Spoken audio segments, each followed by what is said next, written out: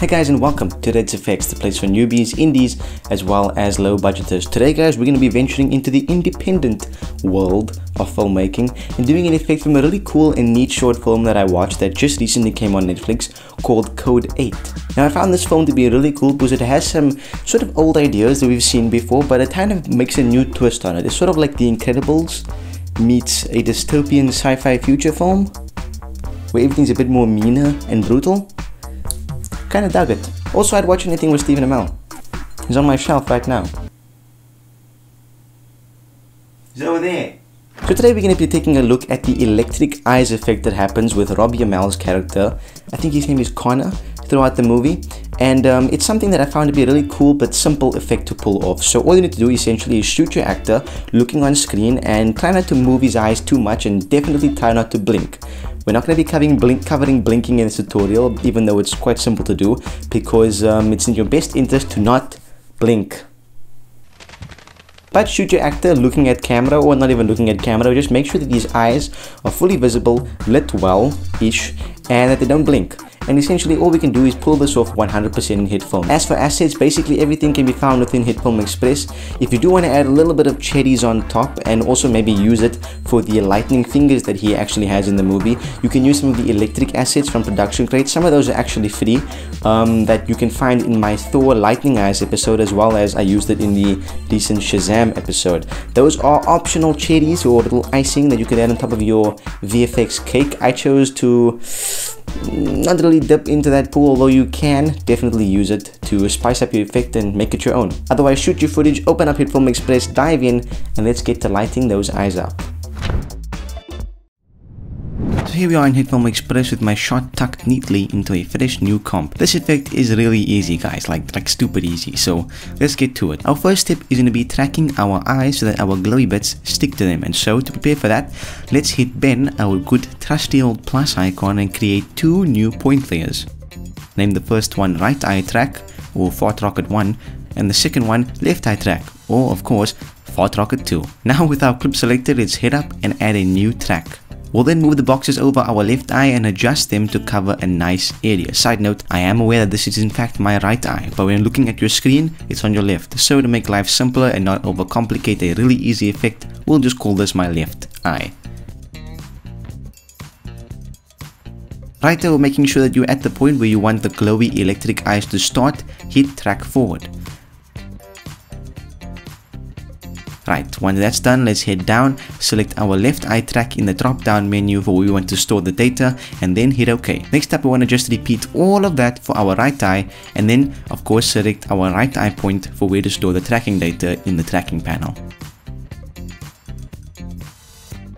And that guys is the quote unquote hard part done. Crazy, I know. So let's get to making the eyes glow. Let's create a new plane, make sure it's white and call it right eye.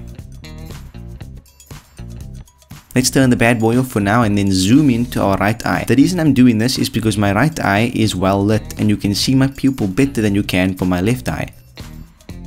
Okay, let's select the oval mask tool and draw a circle over our pupil.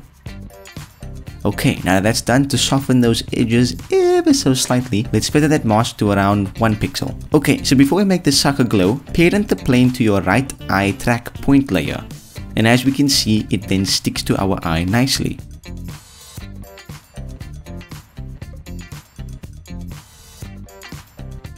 Now what I want to do is duplicate that plane, name it left eye, scoot it over and position it over our left eye's pupil,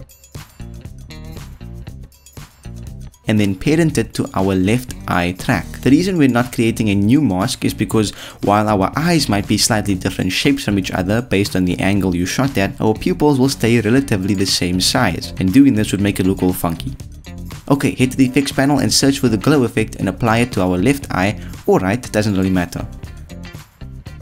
Let's then set the intensity to 2, don't worry about the threshold really since the area is so small, the radius to 8, and the blend mode to add.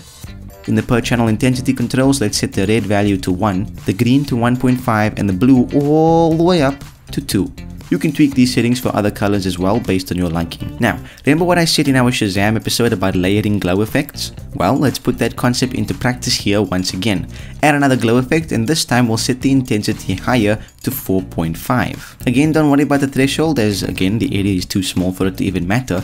Set the radius wider at 55 the blend mode to add again, and then in the per channel intensity controls, let's drive that blue color home. Set the red value to 0.2, the green to 1.2, and the blue again all the way to 2. And boom! We are done. Let's copy those glow settings and paste them onto our other eyes plane and now we have two glowy electric eyes from Code 8. Bonus tip for you guys if you want to animate them to flicker on, this is how.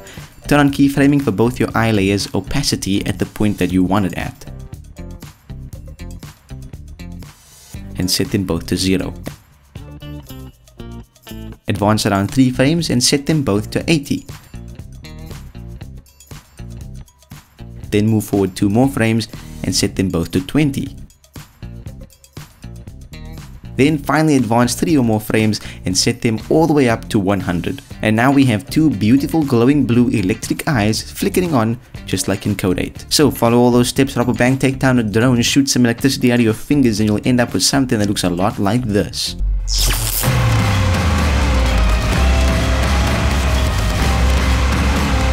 And there it is, a simple effect from a really cool and a neat little movie that I saw called Code 8. I'm sure all of you guys have seen it as well, it's quite popular. Um, let me know what you guys thought of the effect. Let me know if you've tried it yourself and what your kind of results were. Maybe you added a bit of a twist on it.